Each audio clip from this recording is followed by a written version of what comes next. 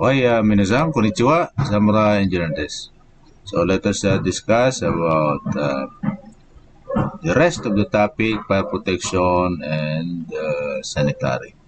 Okay, so, so as you can see on this uh, contents, so this uh, fire, fire protection, so stairways, emergency, egress, exterior doors, these are fire protection, uh, provisions, okay, and then ventilation, smoke, these are sanitary. So let's uh, continue with our discussion. Right, starting from this page. So please uh, allow me to uh, get the confirmation. So, clear po sir. Shout out to you, Giselle. Okay. So, let us discuss uh, fire separations. So, fire separations, garage, and homes. So, many fire begins in garage. Okay. So, unfortunately, garage fire often are more intense than fires that start elsewhere because of presence of gasoline, cardboard, newspaper, and other flammable materials. So this is true, but since in our country we do not have uh,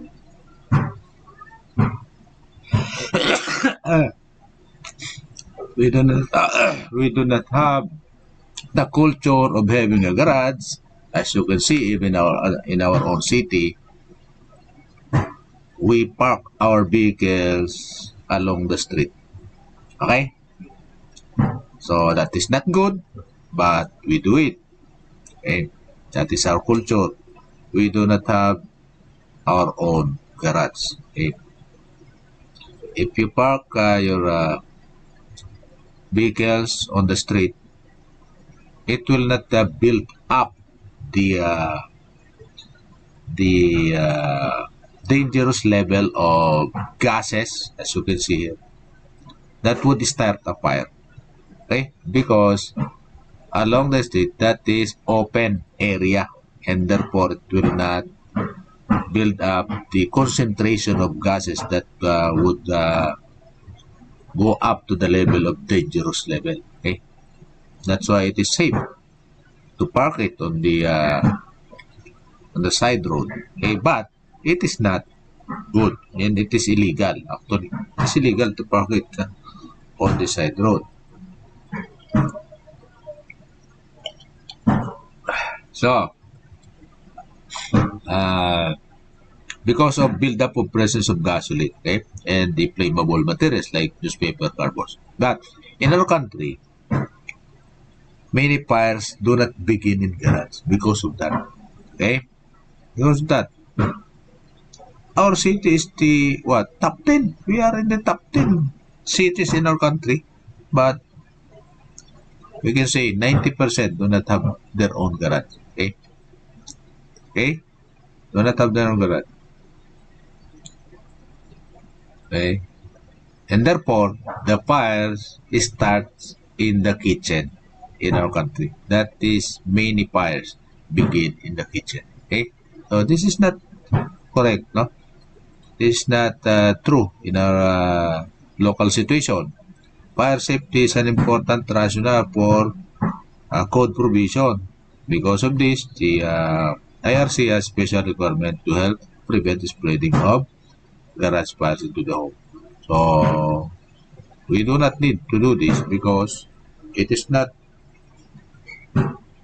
uh, the same in our country we just have to be familiar with this because it our country may end up following this anyway later on. Okay, so that's uh, for familiarization purposes.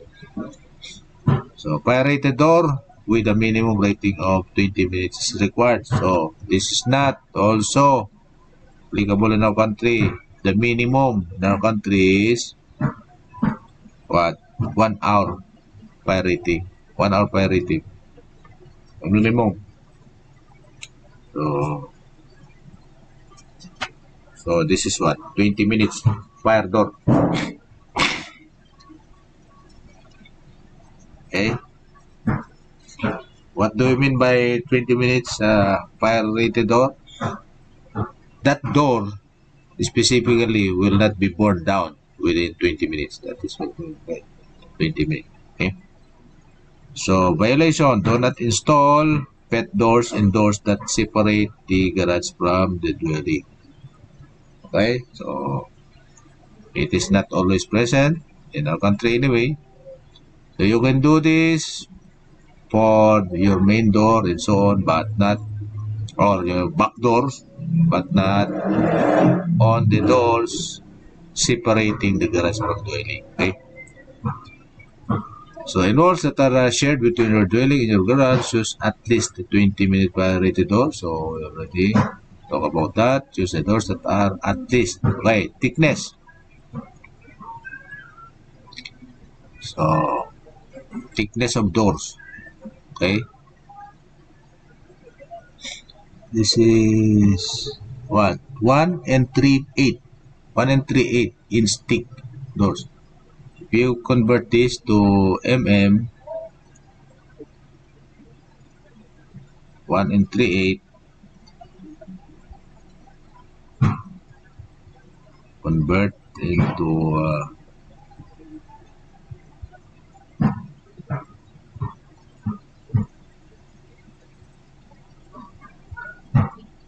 just convert it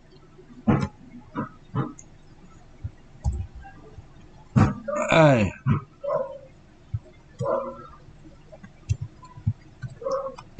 It is equal to 35. Okay? 35 mm. 35 mm thick. So at least 35 mm thick doors. Okay?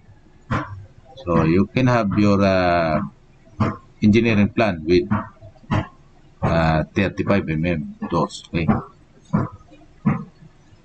So, install uh, self-closing hinges on doors between. So, self-closing, automatically it will close. That is what we mean by self-closing. So, definition of a garage. Garage is defined as the space for parking motor vehicles that is completely closed to the outdoors on three or more sides. Okay?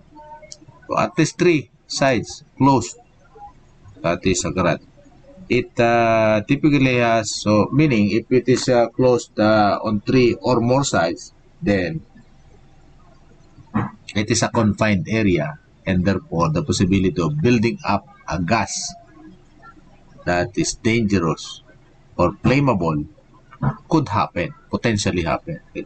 But a structure that meets the requirement but has no door is still considered a garage okay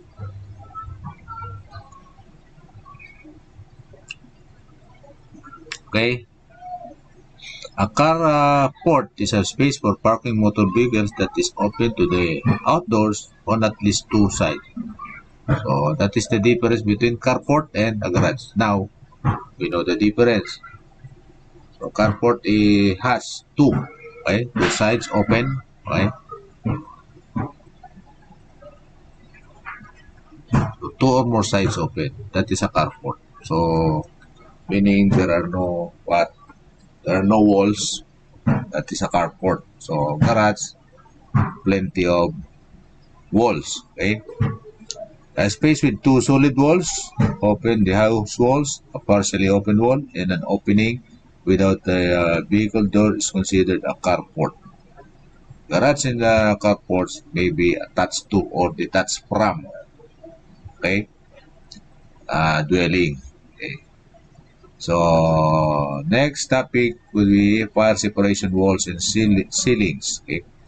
Walls and ceilings that uh, separate the home from garage should be covered on the garage side with gypsum or drywall that at least one half inch thick. So one half inch thick that is 13 mm. A garage must have a ceiling made of type X drywall Okay. Drywall for garage, ceiling. Okay. requirement. This is uh, for uh, fire prevention. Okay, that's a minimum of 5 over 8 inch thick. Okay, that is thickness. Material requirement. Okay, if the garage is beneath a habitable room. Okay, beneath meaning under. So meaning the ceiling of the garage is actually the flooring of the second floor, for example. That is uh, what we mean by that. No? That is what we mean by beneath, the habitable room. Not only the second room, but habitable room. That means what? Bedroom. That is habitable room. Obviously, you cannot have what? The uh, dining room and living room and that area. Obviously, that is what? Bedroom. But anyway, it is not impossible to have living room and other habitable rooms in the second floor. So type X has a fibrous reinforcement to help the drywall maintain its integrity when exposed to high heat. So that's why it is a requirement for fire uh, protection. Okay? Type X. So this is what we mean by type X. Type X drywall is required on garage ceiling if the space above is habitable. Okay, so this is what we mean by type X drywall. Okay, this uh, gypsum board. Okay, so if the uh, garage ceiling is uh, or the garage is uh, beneath the habitable room, but if the area above this the uh, the uh, garage is for example toilet and bathroom. There's no need because uh, toilet and bathroom is not habitable. Room okay? So we need to have what? Maintain the uh, same fire separation for drywall penetration such as attic scuttle holes pull down at the stairs. Okay, so protection for fire, really, gas vents, plumbing pipes. So gas vents for a plumbing system and plumbing pipe. So those holes, okay, uh, must have the proper fire separation for those penetration, meaning you have to what, penetrate plumbing pipes in this gypsum board. So do it properly. Okay?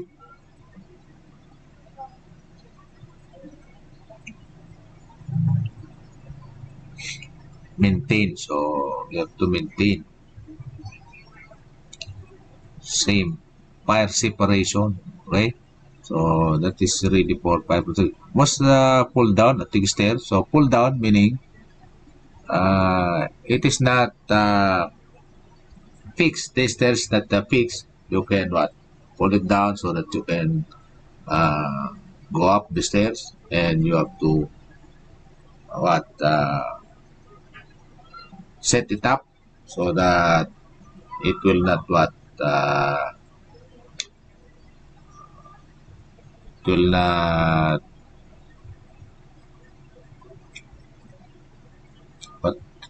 Why do we need a pull down stairs? Because we need a space. Okay, so it will obstruct the dwelling unit, obstruct the area. So if we set it up, so now the space is free, okay, for habitation. But if you pull it down, that is the only time that you have to use the stairs. Okay, so that is the uh, context I am giving this because uh, that is not common in our country. Okay? That is not uh, common. There are very few instances that uh, we have an attic in our uh, country. Another difference, we are just copying the code. Okay. okay. Seal penetrations between the garage and the home such as pipes and ducts. Okay, so we need to seal So put up the ceiling material. So just like what I've said, if there are penetration, there are holes, for uh, gas vents, for pipes, for uh, ducts, okay? Uh, we need to seal it off by sealing material, okay? And uh, with materials that resist the free flow of fire and smoke to prevent fire from one space going to the other space, okay? That is the purpose of sealing or fire at uh, separation, fire separation of one space to the others. Okay? Uh, that uh, that is technical term, fire separation, but uh, currently that is not uh, being used. Okay? Segregation, okay, so it is replaced by some other term. Such material include fire-resistant caulk. So caulk is what? The material used in plumbing to connect one pipe to another. Okay? Caulk. So this is what we mean by pull down stairs. So if you uh, set it up, it will uh, what? Be uh, flush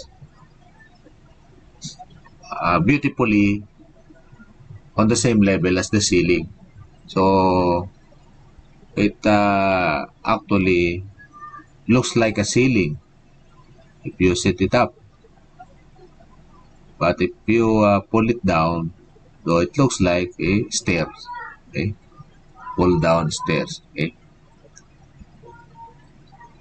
Violation of that Do not install pull-down stairs in the garage ceiling unless they maintain the required fire separation. The standard plywood covers do not maintain fire separation. So use what? Gypsum board. So that is uh, the violation. Use the proper material. Okay? Okay. Do not install pull-down stairs in garage ceiling unless they maintain maintain required fire separation. So, it the requirement fire separation. So, here, as you can see on the sides, there are no provision for sealing off, okay, on the sides. Okay, so, and also the material, sealing material must be sealing and sealing. we cannot distinguish. Ceiling is this uh, part of the house. C E I L I N G. So ceiling. The material called seal S E A L C. The same pronunciation. Ceiling. Okay. So now uh, let's go to the next uh, HVAC ducts and register in garage. Use at least 7, 26 gauge sheet steel. So 26 gauge meaning the thickness of the uh, metal. Okay, for uh, constructing HVAC ducts. Are installed in a garage and ducts that pass through garage walls and ceilings Do not install HVAC supply or uh, return air openings in the garage. Okay, do not install HVAC supply or return air, air openings in the garage. Okay. Supply and return air are not to be installed in the garage. Okay. HVAC. What do you mean by HVAC? H. Heating. V. Ventilating. A. Air. C. Conditioning. So, heating, ventilating, and air conditioning. That is what we mean by HVAC. So, meaning it is mechanical. So, that's why we are talking it right now. No? So, mechanical system in our engineering utilities. Right? So, for ventilation, we do not uh, use heating in our country. However, we are using air conditioning. So, ventilation and air conditioning. Okay? So, flexible ducts and duct boards uh, may be attached to steel ducts after the steel ducts penetrate the garage firewall. So, next uh, topic would be stairs. Okay. What about interior and exterior stairs? So, they also are regu regulated closely by most codes. Okay. So, they are inherently dangerous section of the building. The regulation differs, however, even on the very basic guidelines like uh, the size ratio. There is a requirement. We already know the requirement in our uh, local building code. We have the what? The slope requirement. The slope requirement is provided in the code by suggesting the height of the stairs, the height of the steps of the stairs, and the what the size of the steps, size of the steps and the height. So that provision gives us the ratio of the slope of the stairs. But as you can see, even even in condominium units, you can see very but uh, severe violation of that. Okay? So there is a maximum slope of the stairs. Okay? Oh, it's not possible. This is not the stairs. Is not a good stairs. Too much slope. So there is a maximum level according to the code. Okay? Many of the regulations deal with the lighting issues, including the type and location of fixtures. Oh, a light must be provided in this area. Stairs. Okay? As you can see, during emergency, during night time, without lighting on that portion of the uh, uh, space. Okay? The size, uh, gripability, and location of handrails. Gripability. Uh, the sides, uh, handrails. Okay? Gripability. Mostly, we do not we do not do that okay in the design so as a civil engineer in the future you have to design it okay size gripability location of handrails railings balusters okay railing balusters. What do you mean by that okay? The support for the uh, handrails that is balusters. Also accounts for much of the regulatory wording on the stairway. So interior stairway lighting and switching. Okay. So we should illuminate all the stairway landings and treads so landings. What do you mean by landings. Okay so this is a small space on this stair itself uh, that looks like the rest area resting area right that is what we call landing treads is the actual step thread uh, wherein our uh, feet would land. Okay? Our feet would land on every step. Okay? That is what we will tread. Take note of the spelling of this thread and the thread that uh, uh, is being used for kite. Okay? For uh, flying a kite. So connecting a thread on a kite. So the thread has a spelling with H. This is uh, a spelling without H. Okay. So the areas at the top and bottom of the stairs are landings. Okay. So even that it looks it looks like uh, what uh, resting area top and bottom sometimes intermediate, sometimes intermediate at the middle, sometimes at the middle. So it is not a thread. It's not a thread, but it is uh, what? Bigger, a little bit bigger uh, thread, but uh, it's usually not not being what not being used in our country. Okay? So you have to what uh, illuminate those uh, landings and threads. For example, light fixture at the top of the stairway may not provide enough light to illuminate the bottom. So you need what? One lighting fixture, two or more. Okay, especially if the stairway changes direction. Okay, the light must uh, be capable of illuminating treads and landings to at least one foot candle. One foot candle is the unit of measure. Okay. Note, a foot candle is the unit of light measurement approximating the amount of light you receive from a birthday cake candle when it is held 12 inches from your eyes. So that is the, what, the meaning of one foot candle. The light intensity that you can see from a cake candle one foot away from your eyes. The same amount of light intensity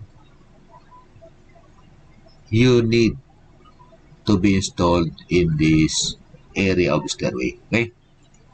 So you must locate a switch for interior stairway lights at the top and bottom of the stair of all interior stairs at least six risers. Okay?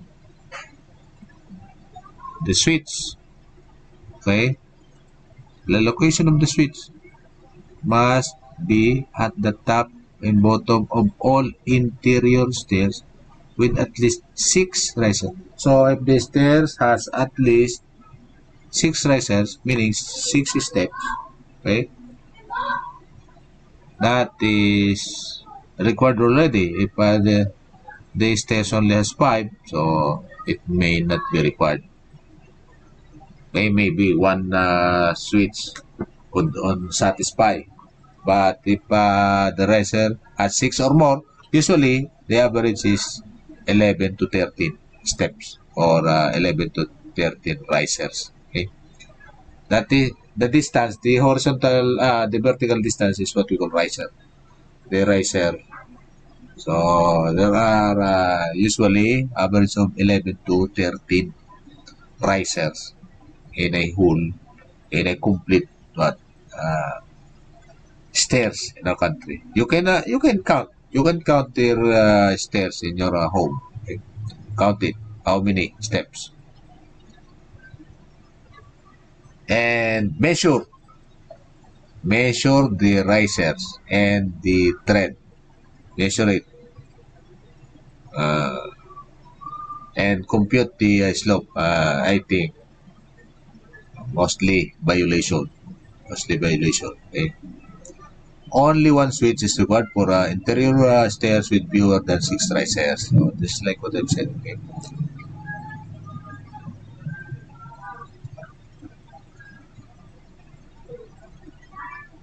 So all the switches must be located without climbing any steps. So at the start, you need to have the switch already. It is a what requirement. Okay. Exterior stairs, lighting and switching. Codes for outdoor stairs differ somewhat from interior requirements and recommendation. In exterior, you must locate a light fixture near the top landing. Near the top landing for stairs, providing access to doors above grade level. You must also light is uh, on the top but uh, on the interior, top and bottom. Okay? You must also locate the uh, light fixture near the bottom landing for stairs, providing access to doors below. If the answer is if the stairs is providing access to doors below grade level, locate the switch inside the dwelling for stair stair. Okay, so very clear, very clear. So, if uh, the stairs providing access going up, so put the light near the top. So, if the stairs providing access going down below the grade level, so we need to uh, put the uh, light uh, inside the dwelling for exterior. Okay. So, definition of the terms. Landing. A landing is a flat surface at the bottom and top of the stairway. Also at the middle, not only the bottom. So for example, this one, Okay, for example, it can be called a landing. This is this could be a landing. Actually, this is a thread. This is also a thread, but actually it is called what? Winder thread. Winder thread. Wind. Wind meaning rotation. No? Wind. Okay. So these three, one, two, three, they are all called winder. But you can provide a landing here, intermediate landing. Okay. Like in our school, like in our school, the stairs has a landing at the middle. Okay? Okay, the, so we have the landing here. This is the area of landing and also the area of landing. So take a look at the landing area. It is it is uh, a little bit larger than the single thread. So that is what we call thread. Okay, thread.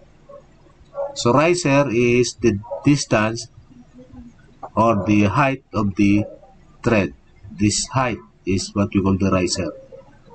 And this uh, space is also called the riser. Nosing is the small protrusion. That is what we call nosing. A small protrusion of the thread uh, compared to the riser or the protruding part. That is what we call nosing. Okay? Okay, so stairway is flight of stairs. Okay. Okay. Tread is the horizontal part of the stair. And the riser is the vertical part of the stair. So thread and riser. The vertical and horizontal part. So measure. So uh, aside task.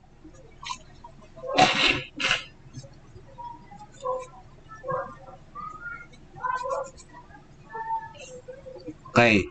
Measure the stairs in your home. Picture.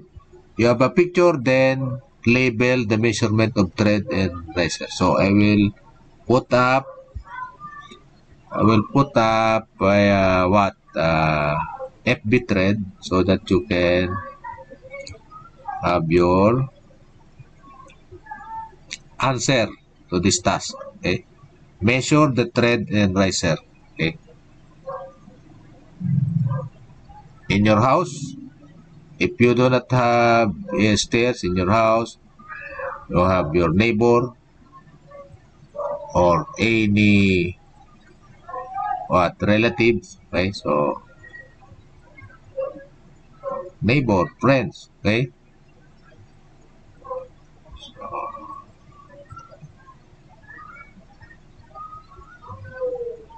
and then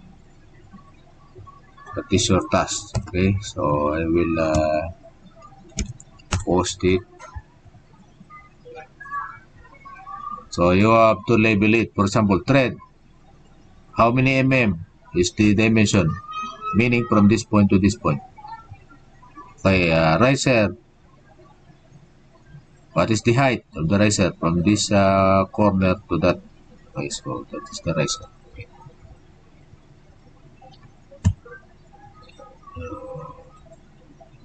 So light switch, the location of light switch. So before you step into the stairs, you already have the switch. Do not put the switch at this uh, intermediate location. Put it on the what? Start. So this is interior. Interior stairs. So this has something to do with the presence of switch and light at the start of the stairs top and bottom. So, for example, this one. This is the landing, intermediate landing. This is not yet, this is not yet the second floor. Okay, this is not yet the second floor. It is only an intermediate landing. So, a landing could be a top and bottom and intermediate. Not only top and bottom. Okay? So, for example, here, it is going down, interior. So, we have light switch already there uh, we need the lighting fixture already here. And also handrails. This is the handrails. Okay? Set up a handrails. Usually do we do not have that. We do not usually have this handrails. This is a requirement. It's a requirement. Okay. So therefore, in your uh, task, okay, in your task, all not only provide the thread and the riser dimension, you also need to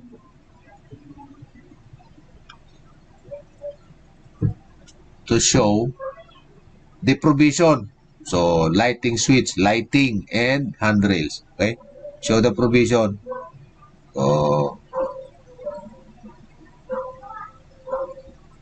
A picture, picture, uh, picture and label. Okay? So, either uh, interior uh, stairs or exterior stairs. Okay? So, one light at the center landing may not be enough to illuminate the top and bottom landing. Okay, for example, right here, we have the switch already here. Okay, just before. So, this is the landing, intermediate landing. This is not yet the ground floor. So, going down, landing, then another going down. Because the stairs changes direction. Okay, so that is the landing. One, in in this uh, example, one light fixture is enough. Show also the light fixture. Okay? Show also the light fixture. Okay? So, provide the picture, label, and the light provision. Okay?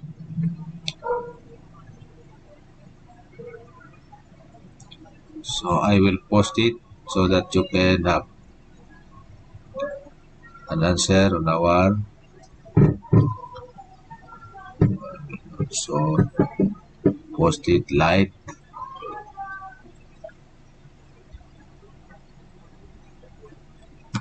is a requirement so you can decide if uh, one light is enough or not so, what is the criteria of that design for light? One foot candle, as we already discussed, one foot candle. So, the illumination, the illumination here must be one foot candle. So, you need to have a device that measure the intensity of light. Put it here on the step, on the first step, then measure if uh, this area, this space is receiving one foot candle illumination. Okay, next. Oh, exterior, exterior stair. Okay.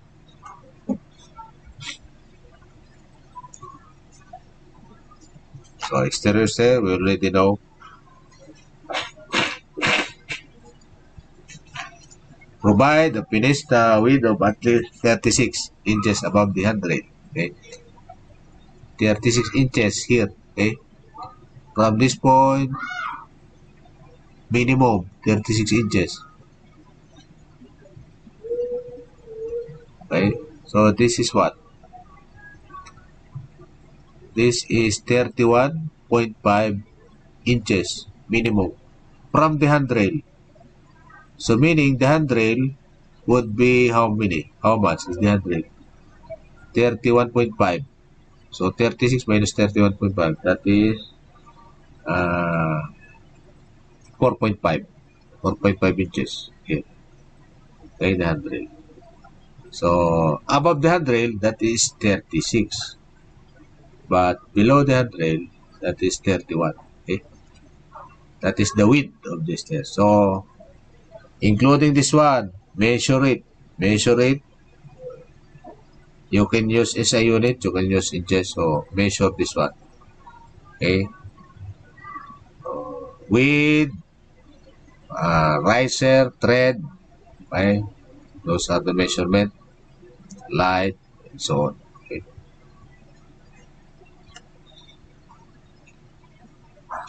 these are the requirement Okay, these are the requirement. Okay? These are the requirement. Riser. Maximum riser. 7 and 3 port. You know, 7 and 3 port maximum riser from this uh, top of the thread to this corner. This is what we call nosing. This protrusion, this part. This part is what we call nosing. Okay? That is the riser height, maximum. Okay? The riser can be non-uniform. Uniform riser meaning the same the same uh, height. Can be non-uniform, but the difference is only 3.8, right? 3.8 between two risers. Okay? Because the last the last step have to be adjusted. Okay? Well, the last step is actually not exactly equal. So, meaning this is also maximum. Uh, we need to have the minimum. We have that minimum. Okay? So, well, so here I will uh, also take a screenshot of this. Let's uh, take a screenshot of this. I will put it on our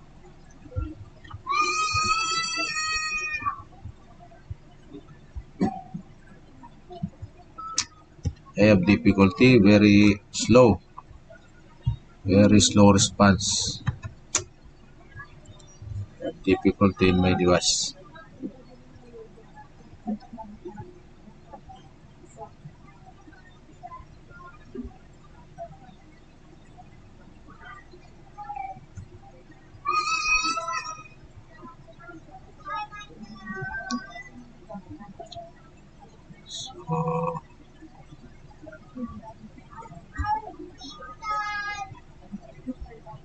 I am actually taking the screenshot that's why uh,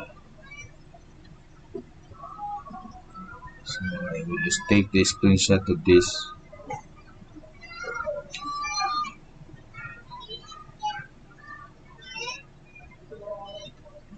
Take the measurements.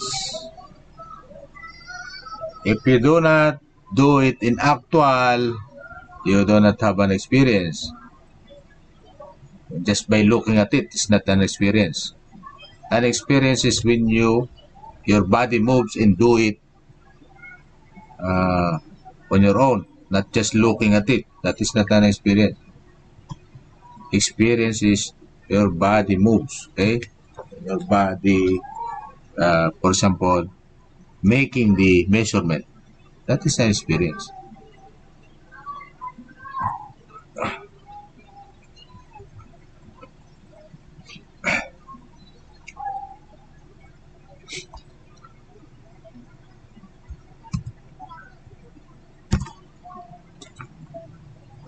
so make this uh, okay.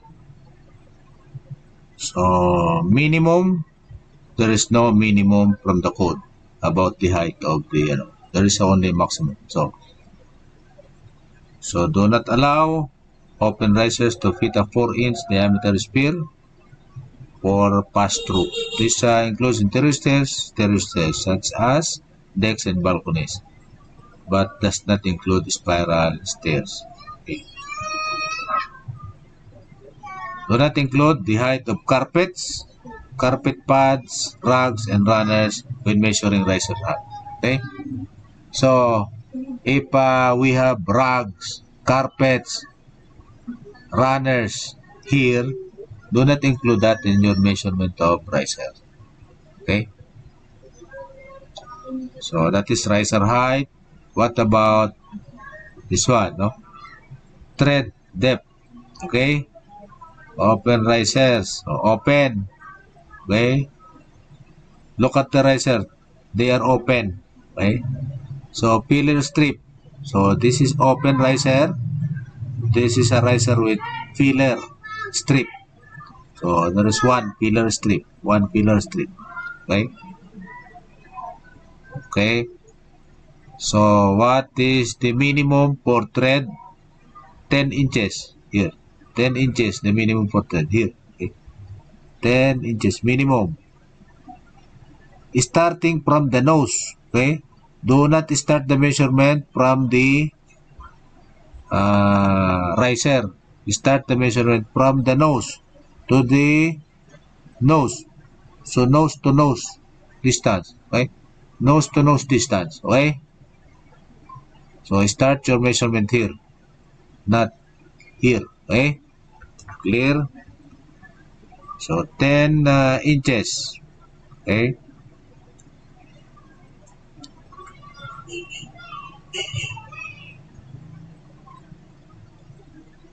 So, this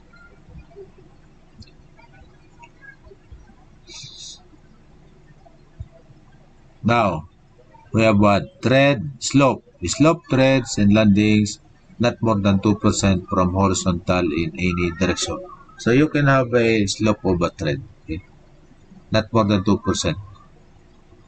Okay? So provide thread nosing depth of at least 3 4 inch. So 3 4 inch meaning the distance from this point to this point. Not more than 1 and 1 4 inch. So, maximum 1 in 1 port. Minimum 3 port. That is one. But in our, in our country, very seldom, very seldom you find out nosing on the stairs. Okay? Our stairs is completely having the corners, okay? With corner like this. The corner like that. Usually we don't need, we don't design nosing in our stairs in this country. Okay? But anyway, if you have your picture, so take a picture and then provide a label. Okay? Winder stairs. So for winder stairs meaning for stairs like spiral, no? So we have the following. For example, the walk line is located 12 inches from the thread's narrow side. For this winder or winder stairs. Okay. Stairway headroom height. So what is the height requirement? Okay. 80 inches. 80 inches again is 2 meters. So headroom height for the stairs. Okay. 2 meters. Okay. So, how do you measure it? So, how to measure uh, 80 inches? Vertically, from a slope plane connecting the thread nosing or from the finished floor of a landing. Okay? So, from the landing, finished floor, or from the slope of thread nosing to the ceiling. Okay? That is 2 meters. So, step up from the landings. Okay, this is a landing. Step up. So, what is the measurement? 7 and 3 fourth. So, what about stairway landings? Okay.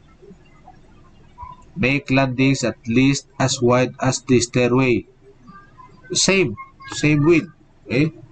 What is the width? 31.5 below and uh, 36 above the handrails. Also label if you have handrails or not. Okay, we have the handrails here. This is the handrail. And this is a handrail. So this is a handrail going down. This is the handrail going up. Okay? Because we assume that people are right-handed. People are right-handed, we assume.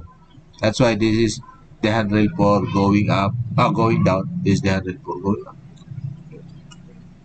And this is what we call baluster. These are the baluster. This, this, what this portion. These are the balusters. Okay.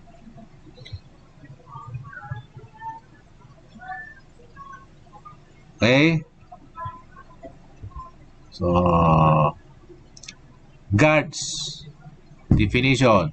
A guard is a barrier that protects occupants from falling from a raised surface such as a stairway, deck, or balcony. Guards are often called guard rails. Okay? Eh? So guards and guard rails. Okay? Eh? When the guard also serve as a handrail, however, guards need not be an open rail. A guard may be a partial height solid wall, okay? A partial height wall containing safety glazing or other structure that complies with requirements. So, guard, that is what we mean by guard. It sometimes, it is sometimes equivalent to guardrails or handrails. Okay? Handrails and guards. Location. Provide a handrail on at least one side of every continuous flight. Okay? At least one side. Minimum. Okay? Handrail. Okay? So, therefore, one side. Another side. So, there are two sides. So, that is a full design. So, if you provided only one side, so that is half side. Provide a guard at uh, raised floor surfaces more than 30 inches above. Again, 30 inches is how much? 750 mm above the adjacent interior and exterior surface. Okay.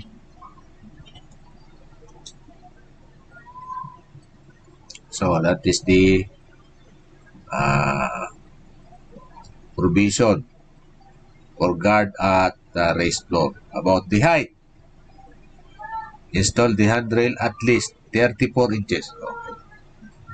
34 inches and not more than 38 inches. So that is the height of the guard. Okay. 34 to 38. What do you mean by 38? This is compute. To SI unit, 38 times 25.4 so that is 38 is uh, 960 960 mm and 34 is how much? 34 is 860 so 860 to 960 mm that must be the height. So 960 is about 1 meter so eh, that is about 1 meter. So 960 or 950 950 so 850 to 950 okay that uh, might be the what the uh, soft conversion. Okay? So so handrails okay guard. So the guard this is the provision. Again guard is the provision for what? Barrier to protect occupants from falling off from a raised surface so uh, to protect you from falling off this this side so it is a guard. This guard has a guardrail. This is the guardrail. This guard guardrail okay? But sometimes they are called guardrail anyway. Okay?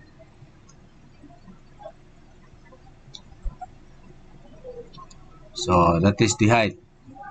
34 to 38 or 850 to 950 mm. This is what we mean by slope of nosing thread or slope of the thread nosing okay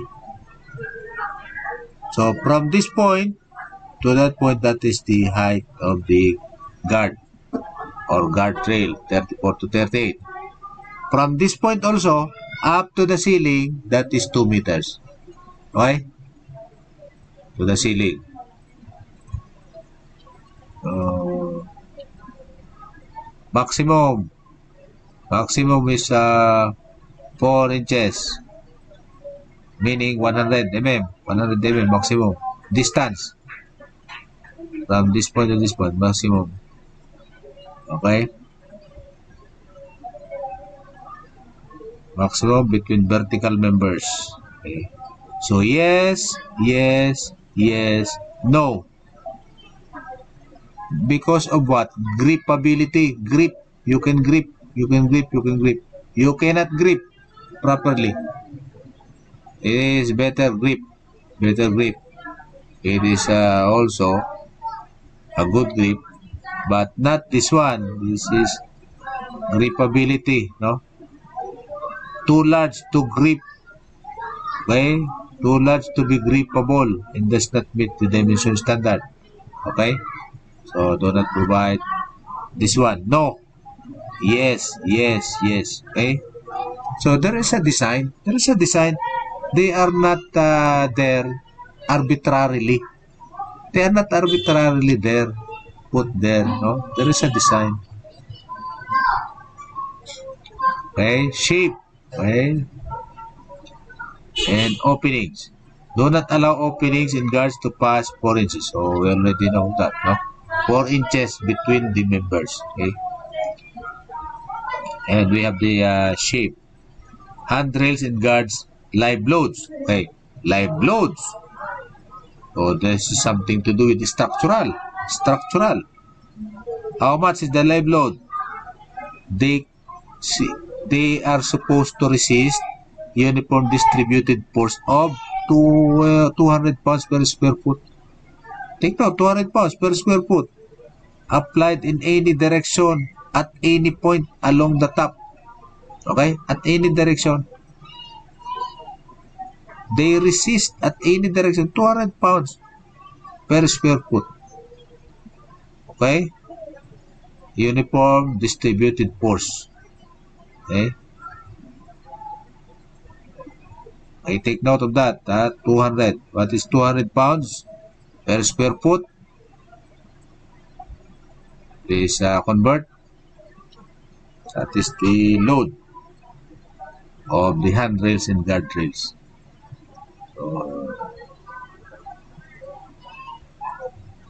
So, that is enough to support one person per uh, every step. For every step.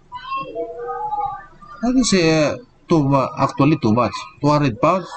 One person is not 200 pounds, and one square foot is not uh, one person. So therefore, that is uh, sufficient enough to support one person per uh, thread. If there uh, if there is one person per thread on the stairs and using the handrail, the handrail is capable to support.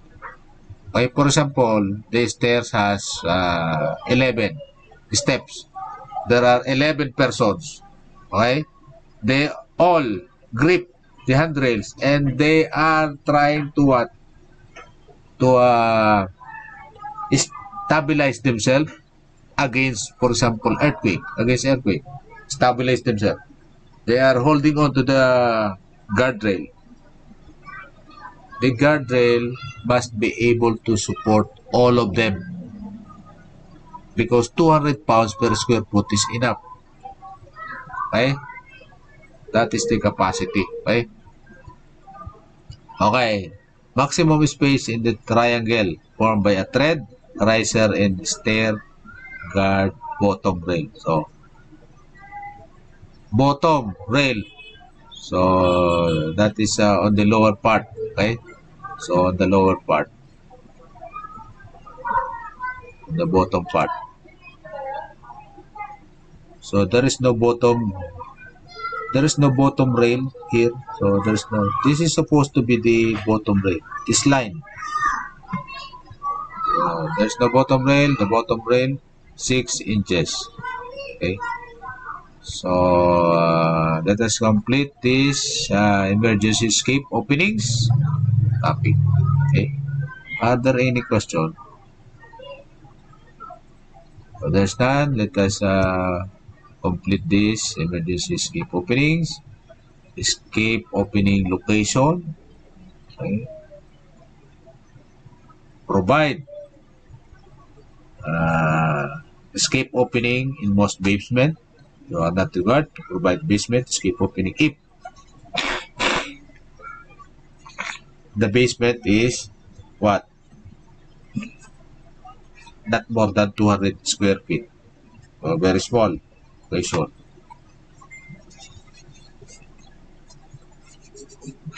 So if the basement is used only to house mechanical appliances, so not for habitation, okay? Is not for escape opening location. So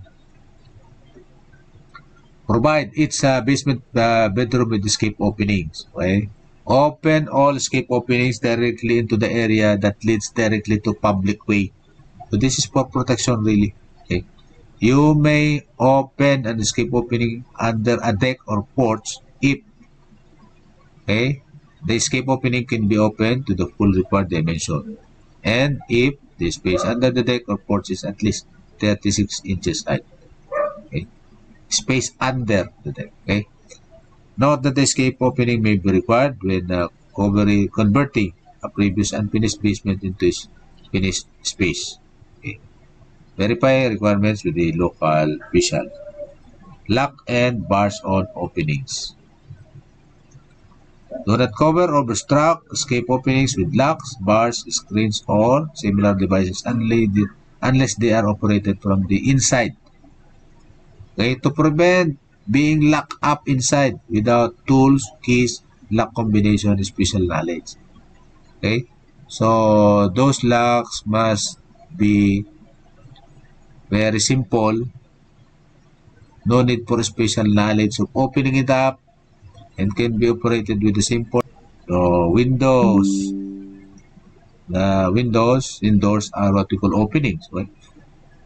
and doors and windows are also used for escape okay so egress windows allow emergency exit from a structure and must meet certain minimum size that's why we have minimum dimension for windows so for windows we have minimum 34 inches okay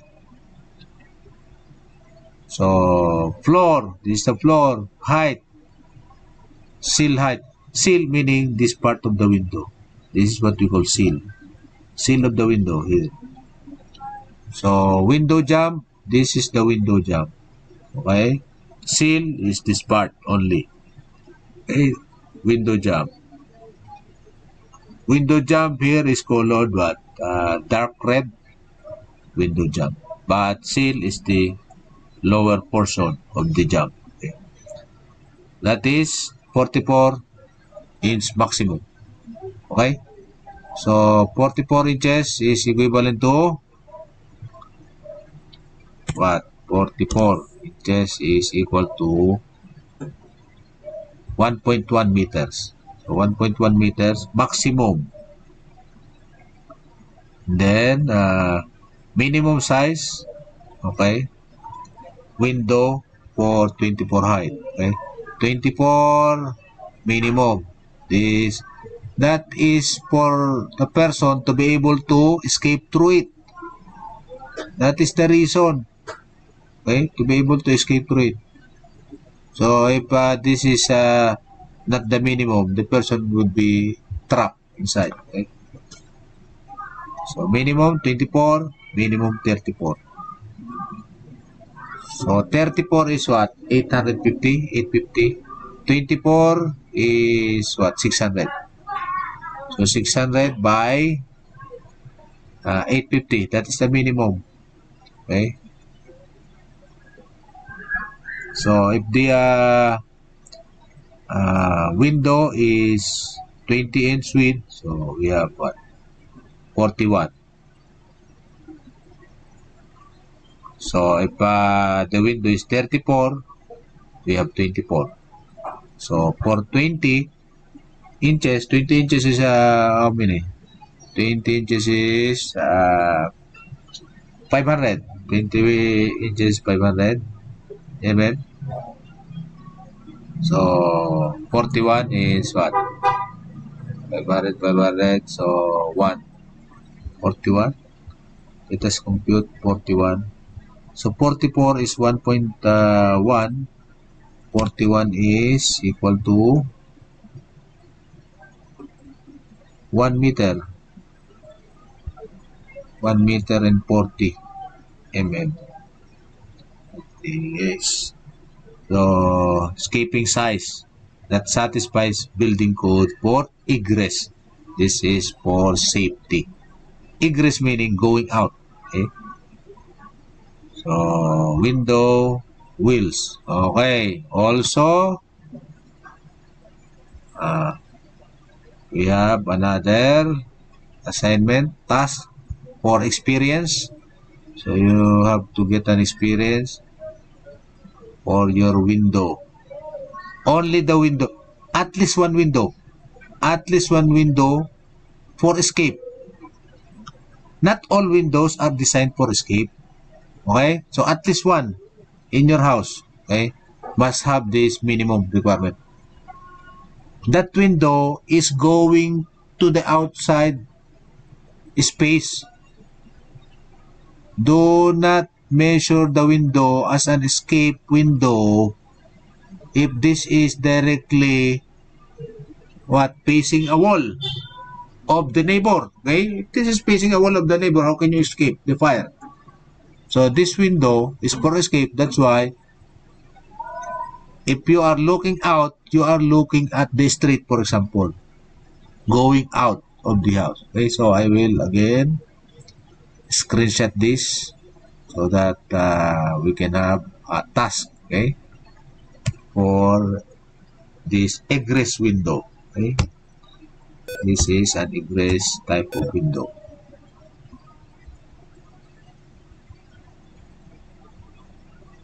so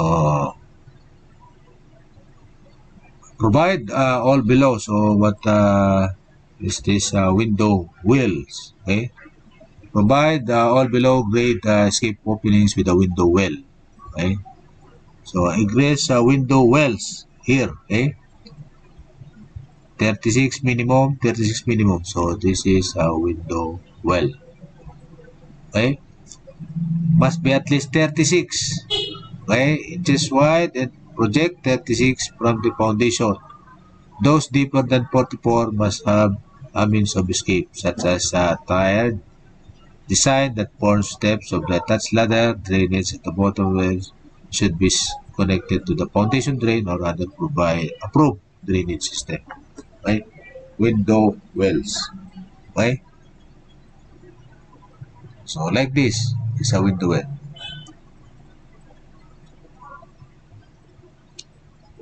Provide each window well with at least uh, 9 square feet clear opening. So 9 square feet is 9 square feet. 3 by 3. Okay? Install a permanent ladder if uh, the window well bottom is more than 44 inches below grade. So, so meaning this is the grade, this is the grade uh, line. So below grade, if this is 44 going down, okay, so you have to provide the ladder. For example, like this. This is a ladder steps. This is the steps, okay? It's like this. Window wells. Okay, grease doors. Very fast. Okay, grease doors necessary. Uh, this is the type of door to the outside that meets all egress doors. Requirements for accessibility and opening size. Every dwelling must have at least one. That is what I'm talking about. At least one at least one window, at least one door for escape. Okay? Egress uh, door is usually the front door. Other exterior doors did not comply with the English door requirement. So you need only one compliant door and windows and you are uh, so complying with the codes provision uh, codes provision. Egress door requirements provide at least one egress door that uh, is accessible okay from all areas of the home. That door must be accessible from all areas. Install a side hinge egress door that provides a clear opening at least 32 inches wide and 78 inches high okay. Side hinge so side hinge flapper like this side hinge door flapper okay and measure door width between the face of the door when open to 90 degrees and outer edge of the door stop. Okay? So 90 degrees opening. So, you can open the door not less than 90 degrees. Okay?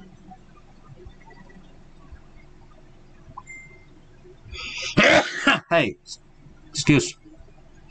This means that the uh, 36 inch by 80 inch door is required using standard size doors. Okay? 36 by 80. Okay? So 36 by 80 is the dimension. You need at least one door that satisfies this.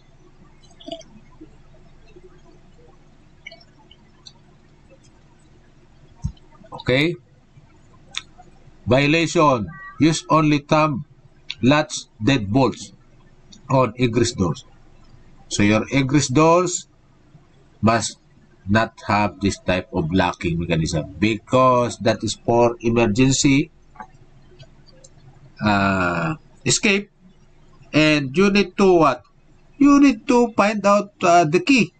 How can you make an emergency exit when you are needed to find the key first?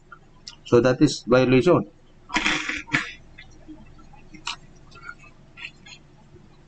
Okay. So, what else? Provide a landing on the interior and exterior sides of the door. Build its landing at least as wide as the floor. Okay, the same with the previous discussion. Uh, the door is 36. So provide uh, the door, eh? the door 36 by 80. Okay, 36 by 80. So build the interior exterior landings not more than one and a half inches below the top of the threshold. Threshold. Okay. Then you may build the exterior landing not more than 7 and 3 4 inches below. You may build the exterior landing with more than 2% slope. Not more than. Okay. So that's why uh, in our plumbing system, this is the maximum. 2% slope maximum. 1 to 2% is there uh, is the slope in our plumbing system. So they are what? uh, complementing each other. Okay? So you will not violate the other code when you are going to satisfy this code. You are not violating plumbing code. Provide ramp or stairway to an egress door that is not at grade level. So we need those type. Okay, so we have what 36 minimum. Okay, here space. This is the door. This is the door. We have 36 open space. That is the landing. That is what we mean by landing. We have unobstructed. There is no obstruction in this part. There is no obstruction. If there are obstruction, then, that is not an open space. This must be an open space. 36 inches minimum. Okay? And this is what? 7 3-4 maximum threshold. Okay? Here. Okay? So that is a requirement. So exterior doors, uh, exterior doors landing requirement. So let us uh, go, move on faster. So we need this required on both side. Okay, landing for exterior doors. Landing is larger than the door width. Okay? So, but minimum, minimum is uh, what? 36 inches. Okay? 36 inches. So, what are the takeouts from this? Okay. Put a landing on exterior interior.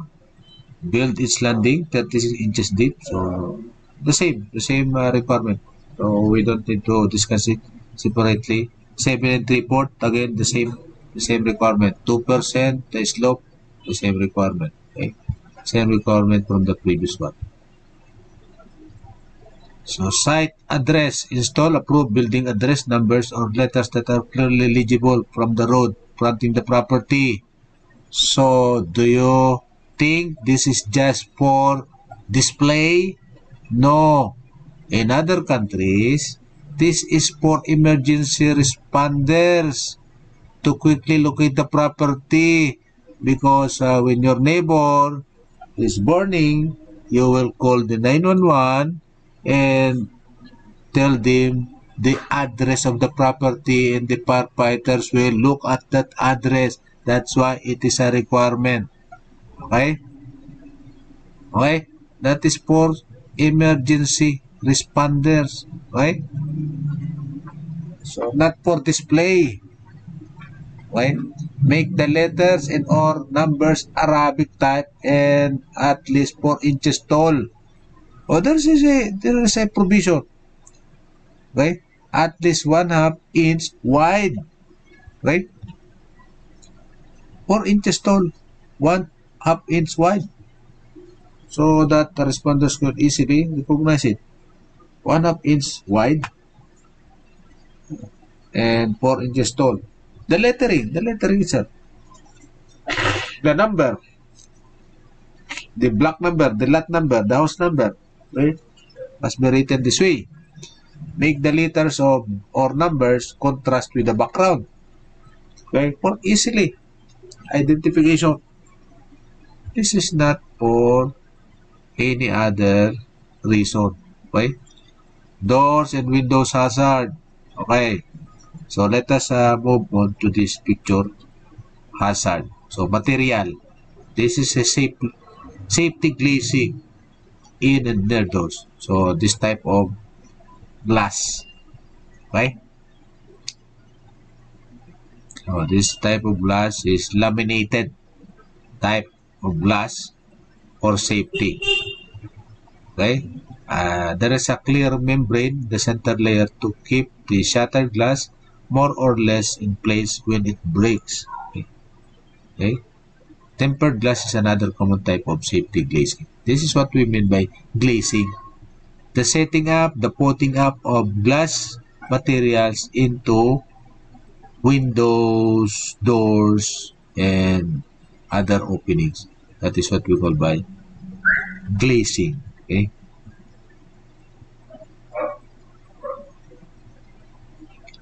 Okay, that is more or less the doors and windows hazard. That is hazardous. Okay. So, pictures of people severely cut when they fell or were pushed through doors and windows containing regular glass. That's why we need what? Safety glass shut shatters into very small pieces that are less likely to cause severe cuts. That is why the reason. Okay? Safety glazing and full hazards are complicated and many exemptions. Our objective here is just to introduce the subject and make you aware of it. Okay? So, safety glazing usually means tempered glass. However, other uh, materials also qualify. This is why it is called safety glazing, not safety glass. Okay? Most safety glazing should uh, be identified with permanent writing in one corner of the glazing This is uh, uh, what you can see on the car doors or the car windows, the car uh, glass glazing. There is a writing. Right? This writing can be very difficult to see, so look uh, closely before deciding that the glazing is not safety glazing. So, look at your uh, glass portion. Okay? At your uh, safety glazing. Okay? There must be some uh, notes here, um, writings, specs, or something. Okay? Safety glazing, that's all about it. Okay, so safety glazing is not required on top of this because you are not going to use this to escape. You are not going to use this to escape. That's why safety glazing is not required. Only the regular glazing, not safety glazing. Okay? Safety glazing required here because when you cannot open this up, you will what? Break this glass in order to escape. So safety glazing and therefore there is a requirement they mention here. Okay? There is a requirement so that one person can get out from this uh, opening. Oh. This must be a safety glazing. Okay? So, safety glazing near stairs and uh, guards. Safety glazing near wet surfaces. So, wet surfaces. Okay? Must have provision. Uh, the same the same uh, dimensions are requirements safety glazing needs stairs and guards. Same dimension. But uh, when you are confronted with bathtubs so 60 inches horizontally from edge of bathtubs okay exemptions include windows when the bottom edge of the glazing is located 60 inches or more above the walking surface okay the 60 inches horizontally from the edge of bathtub shower swimming pool whirlpool, hot tub, saunas, steamboat. Okay. Window fall protection. Install a means to restrict the distance that an operable window can open so that a 4-inch diameter spear cannot pass. Okay. Uh, the top of the window sill is less than 24 inches above the finished. Okay. So, the same dimension requirement. The top of the window sill is more than 72 inches above. So this is the first 72 inches above the exterior surface below. Exterior surface below. Okay. Comply this provision by permanently restricting the window opening. Okay. You may comply with this provision by installing a window opening control device that complies with ASTM. Okay. So ventilation and exhaust Controlling the moisture level is unimportant for our comfort as a human being. Okay? Moisture. Okay? It's important. Too much moisture uh, can be significant risk to our safety. Okay? So, this is sanitary. So, current indoor air quality Best practices also encourage removal of excess moisture and other contaminants from home. So in similar manner, contaminants is a sanitary requirement. Okay? Not only the excess moisture, but contaminants. Okay? The greatest threat posed by a water vapor is, the, is that it provides one of three things that mold needs to grow. So molds will start to enter and grow our house because of the level of moisture that are present. So we need some ventilation and exhaust. Okay. The other two are the correct temperature and food. So that is one requirement for the mold to grow. So the presence of temperature, food, mold grows at the temperature we humans prepare. So there is a little we can do about that. So the same environment, temperature environment that uh, we need, so molds grow in that temperature too. So we need to control what? The moisture. Because molds eats almost any wood products and our homes are filled with these products. Okay, all the wood parts will be mold. Uh, food that is the food for the mold. One thing we can do something about is moisture. That's why this is the reason. This is clearly the reason why we are controlling the moisture. Okay? For comfort and for what? Contaminants. Okay? Contaminants. Water uh, vapor travels in air. When uh, water vapor condenses on visible surfaces, it provides the moisture that mold needs. Okay? So, when we see what is uh, often called mildew, mildew is another name for mold. Uh, when water vapor travels into attics and wall cavities, it can condense and provide moisture for mold. Mold can grow in these hidden spaces for long periods of for long periods before it is discovered. Damage to the home can be significant when mold grows for long periods of time. Little by little, very little damage per day, per day, and so on after uh, one year, after two years, significant damage. Okay? Water vapor is always present in every home. Some water vapor occurs naturally. Of course, we always have water vapor in uh, there. We introduce some water vapor into a home with every breath we take. Much of the water vapor in home results from activities such as bathing, cooking, clothes drying. So take note of this area where in the house space you take a bath, where in your house space you cook, where in the house space you dry clothes. These are what? Toilet and bathroom, kitchen, and laundry area. So those area, we need immediate control of moisture. Okay? To remove the excess water vapor caused by these activities. Okay? So, moisture exhaust requirements generally are met with combination of natural, meaning opening of windows, and mechanical, meaning exhaust fans. Okay? The bathroom and kitchen are the two rooms where ventilation is That's why I told you toilet and bathroom and kitchen. Okay? And uh, laundry area.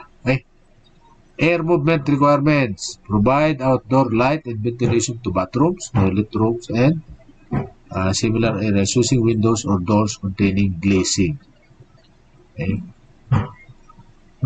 Light and ventilation.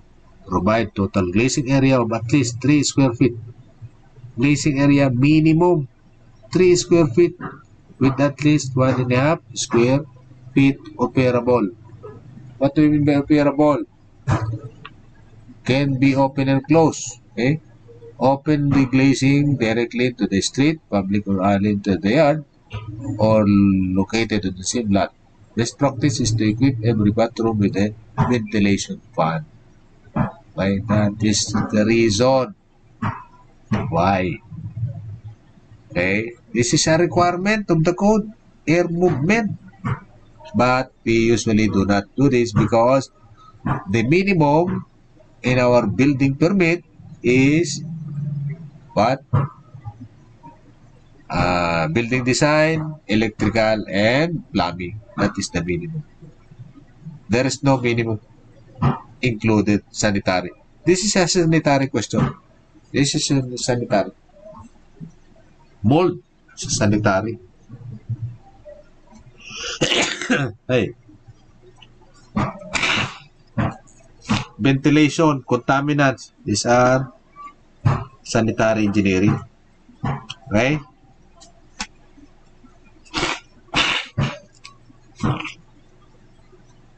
And they are required for commercial, not residential.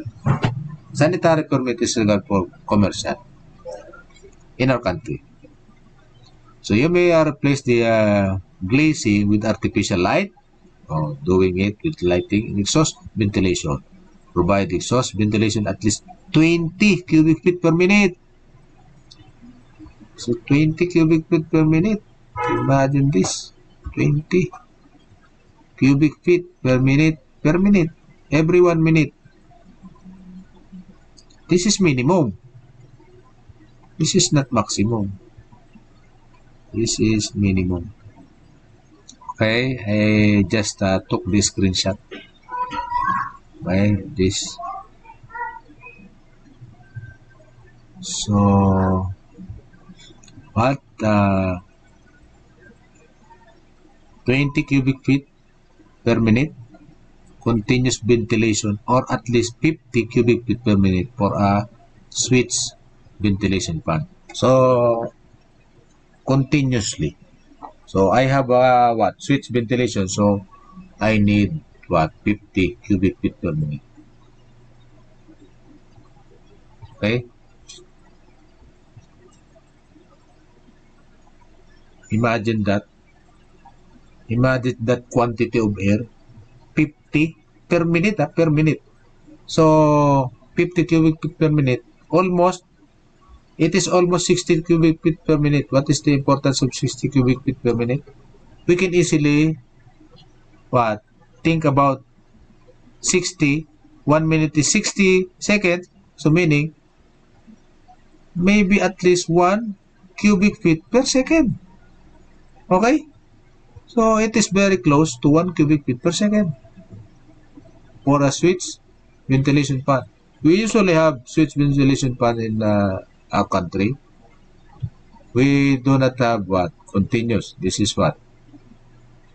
Uh, energy uh, consuming uh, device. So, that is not usually the case.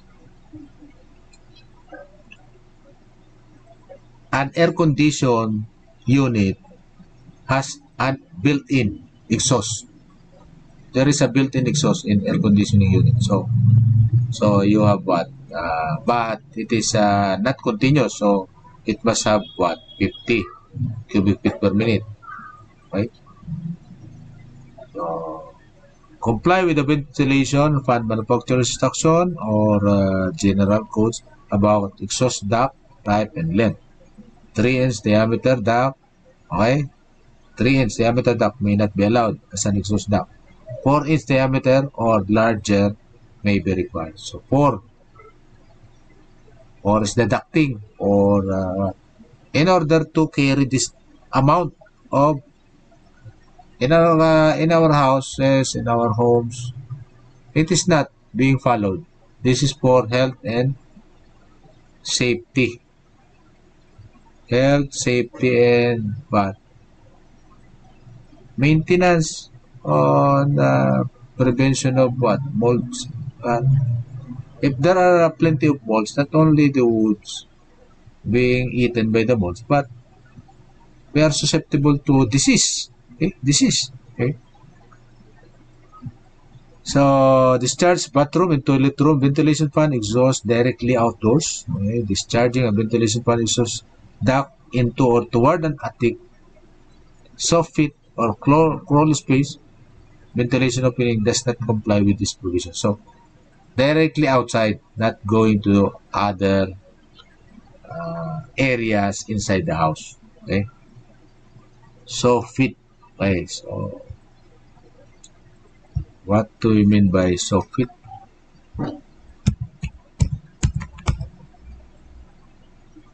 So, those are the requirements. Let uh, soffit meaning the underside of an architectural structure such an arch, balcony, or uh, overhanging eaves. Okay, the underside, the underside that is soffit. So, arch, underside of an arch, balcony, underside of a balcony, underside of overhanging eaves. So, soffit.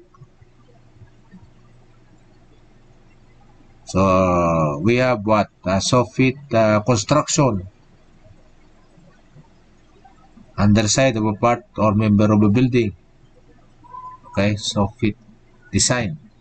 We are designing that because uh, condominium unit is very small. Even the soffit area, uh, they want to have a usage, usefulness. Okay. Uh,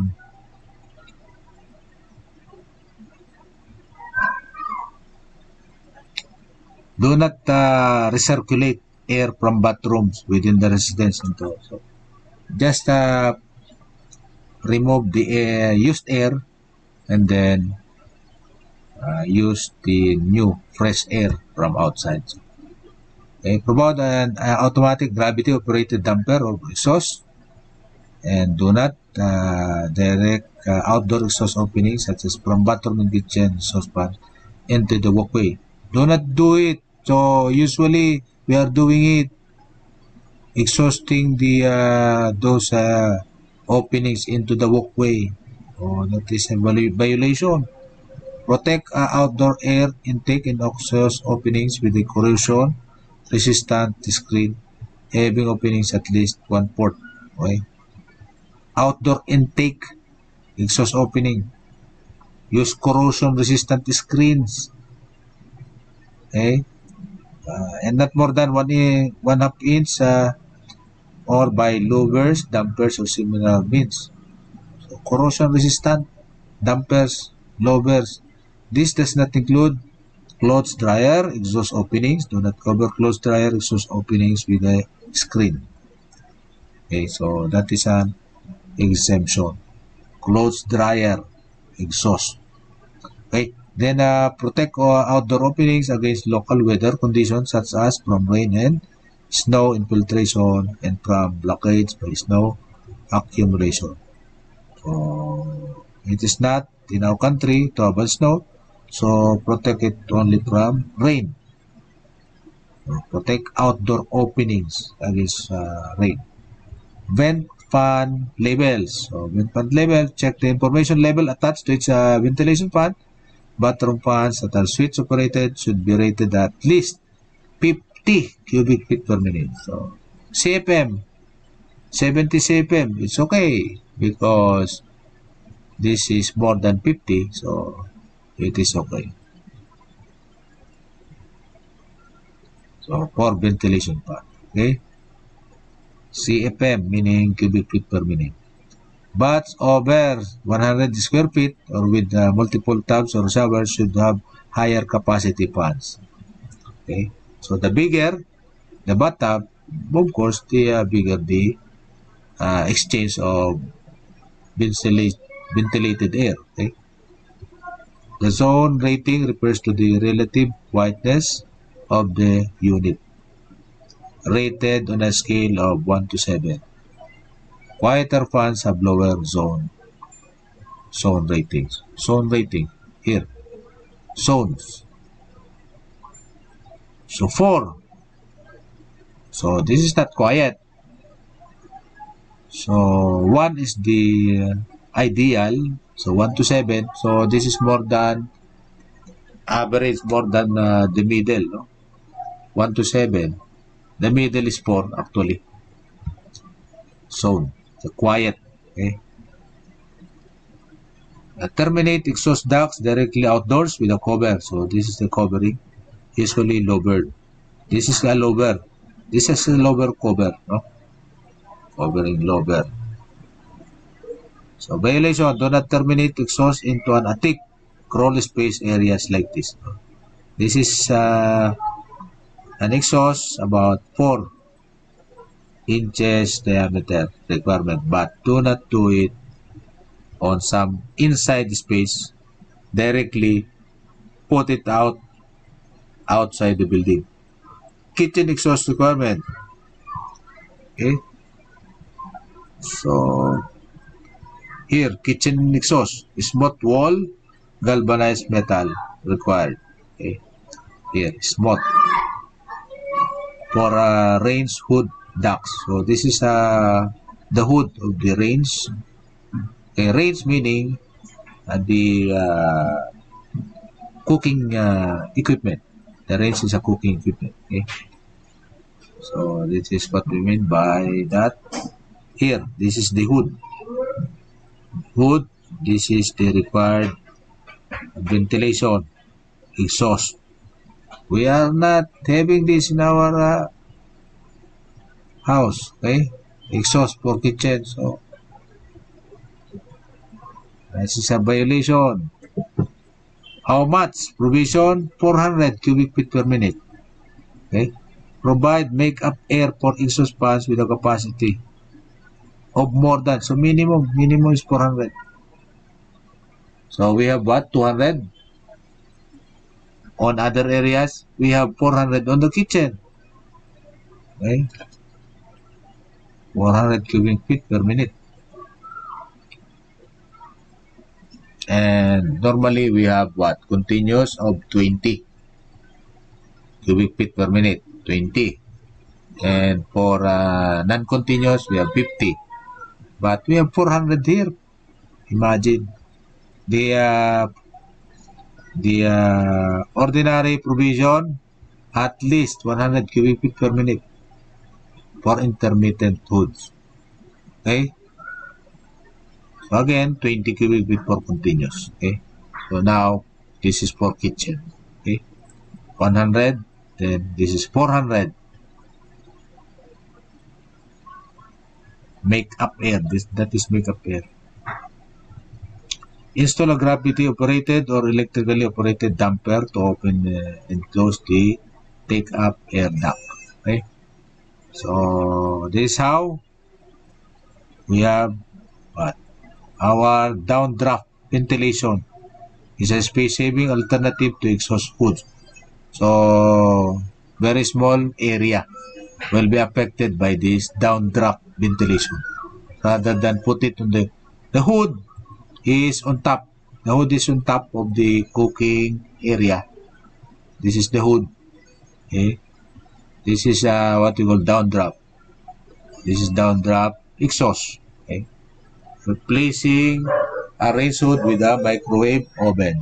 For example. So this is a, a correct.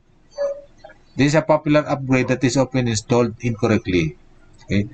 Microwave oven. Okay read and follow manufacturer's instruction. Okay, uh, microwave oven is a fire hazard, born, ha born hazard. Okay. And it's also reduce the microwave service life to following address some the frequent installation errors. So we have microwave requirement. 120 volts in uh, their country, in our country that is 220 volts and uh, 20 amp circuit also the same in our country 20 amp but the minimum in our country is 30 amps right now. So, at least uh, 30 inches between the range top and the top of the cabinet. So, the open area from the microwave to the cabinet. 66 inches between the floor and the top of the microwave. So, those are the requirement. 66. Plug a microwave that comes from an attachment plug into receptacle. Okay. Do not connect the microwave directly to electrical wires and do not use the extension cord. So, there is a plug must be used. Okay. So, connect the microwave to exhaust duct. Do not uh, simply load the exhaust at the hole of the cabinet where the exhaust duct is located. Install the backdraft damper if one is supplied with. So, this is what we mean by 66 inches. Okay, 66 inches. This is a microwave. 66 inches. Okay. Clothes dryer, exhaust requirement, installation requirements. For closed dryers, not uh, very much applied in our country. So uh, let us just look at the picture. So, it's uh, the ducting. Use strap hangers to support rigid ducts. Install hangers at joints. Okay. So joints, hangers here. This is what we call hangers. Joint. So hangers, joint, support hangers. Tip, position the hangers so that the duct work doesn't make contact with the floor joints or other structural members. Do not make it in contact. Okay. So there is a small space between. Okay? So, that is uh, for ducting.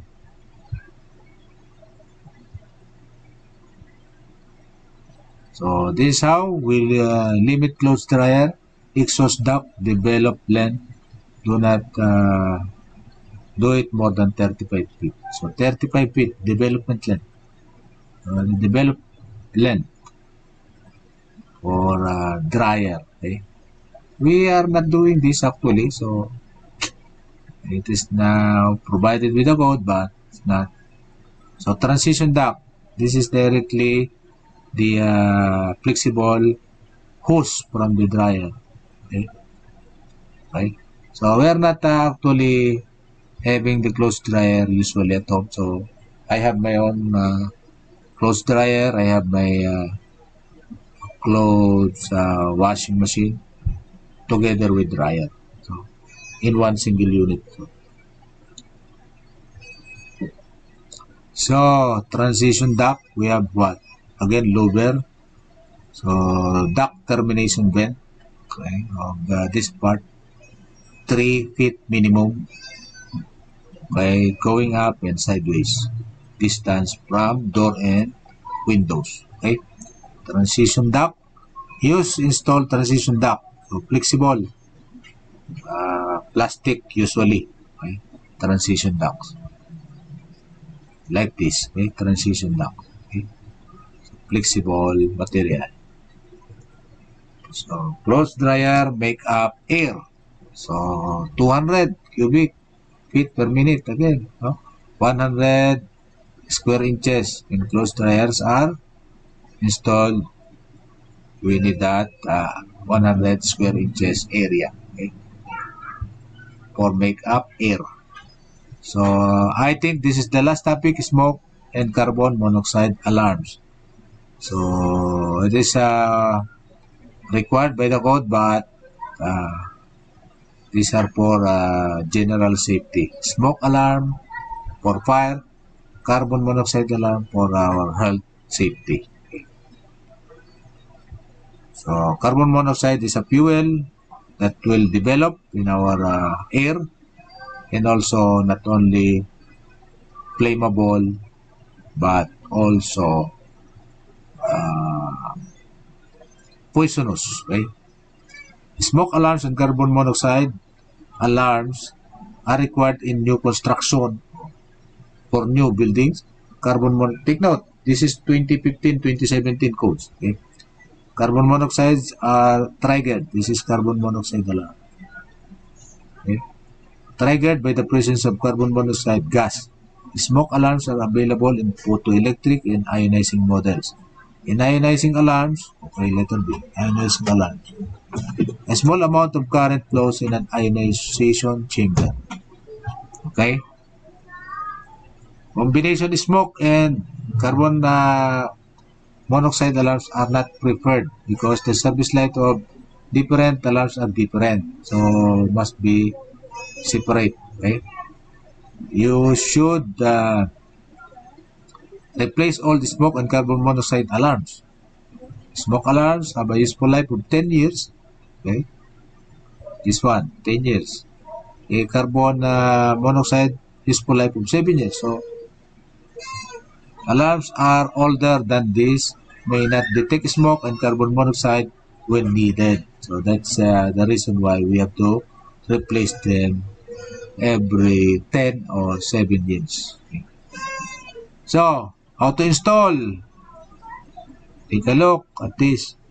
Smoke alarms in and near all bedrooms and all levels of a home. Every bedroom, okay? We have one, two, three, four. Every bedroom, we have smoke alarm. Okay? Near all bedrooms. So, this is smoke alarm near bedroom. Smoke alarm the bedroom. So, total of 1, 2, 3, 4, 5, 6. 6 smoke alarms. Okay? On all levels. Eh, meaning, meaning uh, every floors. Any every floors we have smoke alarm. So, uh, photoelectric alarms. So, letter C, heat alarms, letter D. So, photoelectric alarms. Is this type? Heat alarms. So heat alarms and ionizing alarms almost similar. Almost similar BLC. Letter D, this is letter D is what? Heat alarms. So this is heat alarms. This is this is ionizing alarm. Okay? So, usually 10 feet is the uh, immediate vicinity provision of installing these uh, smoke alarms in all bedrooms. Okay? Within 3 feet horizontally from the door So 3 feet to, from the door. That's, that's the smoke alarm provision. Smoke alarm provision.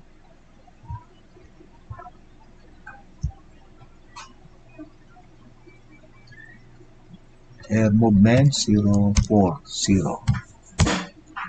Let us screenshot this one.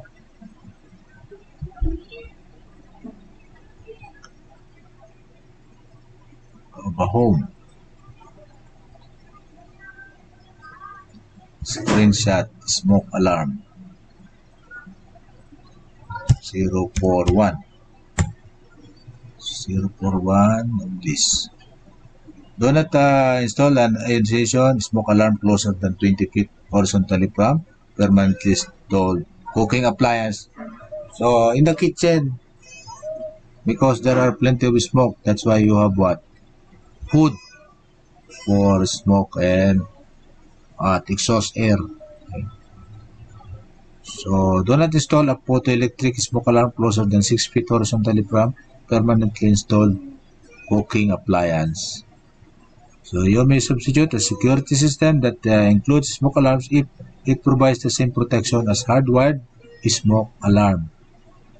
The security system smoke alarm must comply with the NFPA 72 standard and must be permanent uh, fixture in home. Security system smoke alarm installed as a substitute system cannot be leased. They must be a permanent part of your home. Smoke alarm locations not required. Okay. So, crawl spaces. So, smoke alarm is required in bedroom and near those bedroom. Actually, habitable, habitable areas. But not in crawl spaces, attics, uh, middle level of split uh, level homes.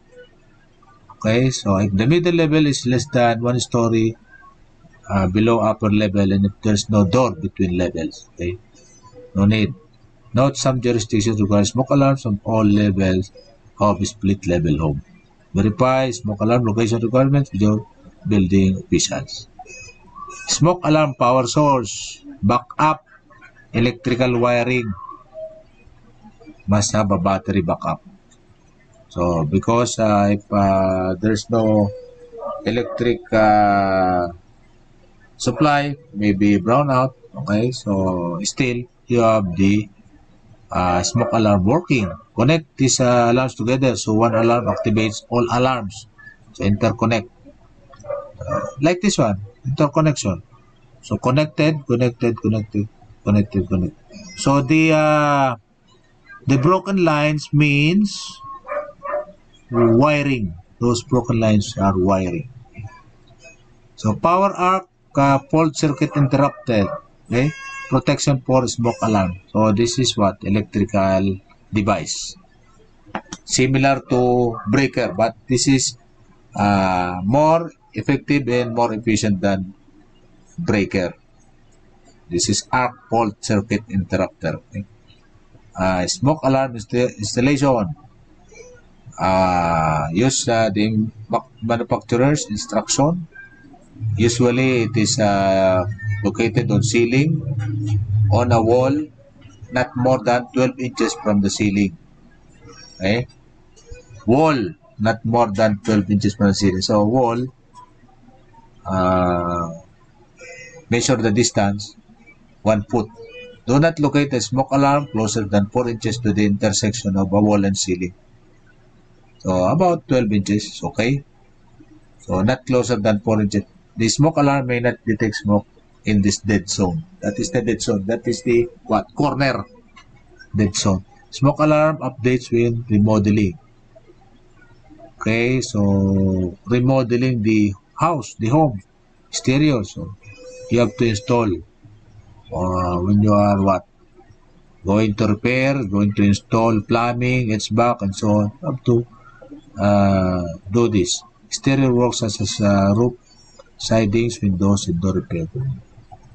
So you have to update the location, the position so that it do not have this what dead zone. Okay. Verify requirements and exemptions with the local official. battery power and wireless interconnection may be allowed. Carbon monoxide alarm requirements.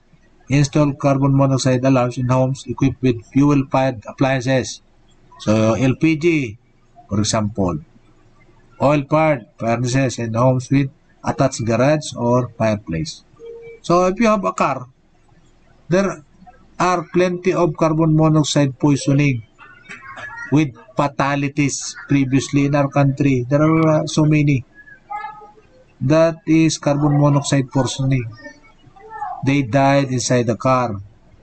So, garage, cars, and those area in uh, our uh, home near the garage. So, install carbon monoxide alarm. Okay, install an alarm that comply with UL 2034. So, install within the immediate vicinity, 10 feet. When you when you find a word immediate vicinity, that is 10 feet. Okay? Bedrooms, connection of carbon monoxide alarms to each other is not required. Unlike the fire alarm. Okay? Unlike the uh, what? The uh, smoke alarm. Smoke alarm must be connected to each other. But what? Uh, carbon monoxide alarm do not need to be connected from one another. Install carbon monoxide alarms in the bedroom if uh, fuel-fired appliance is located in the bedroom. So, uh, use the manufacturer's instruction. Do not locate a smoke alarm. So, near the corner, this is 4 inches from the corner. That is a violation. This is dead zone. Okay, so that's all. Oh, uh, it's already 6 o'clock. So, let us uh, have a 30 minutes break uh, and continue with the other course. Okay. So, any question?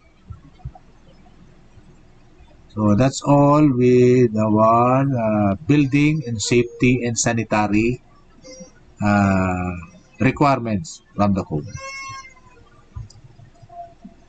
Uh, there are no questions. Again, this is your professor, Dr. Ricky, preaching engineering for nation.